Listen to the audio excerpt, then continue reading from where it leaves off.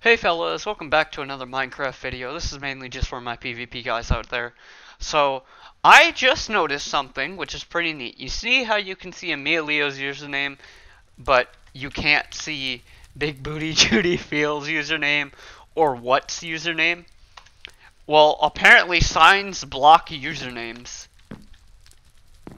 So, you know, that's a neat little function. I see if you turn a little bit, you know, it, will probably pop out. But say if they were shifting or something, their usernames would still be a little bit hidden. And I, I think that's awesome. So, you know, something to note while making a base. Goodbye, everyone.